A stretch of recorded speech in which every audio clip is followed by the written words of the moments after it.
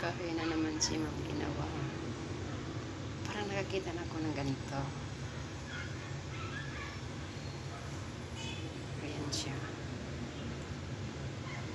Parang butter eh. Pero pagkain to sa mga Koreano. Nagsaing si Ma'am. Nilagyan na niya ng mga appetizer yung kanin. Nilagay dyan. Sa lalagyan na parang bangka yung tao, yung anong tawag dito.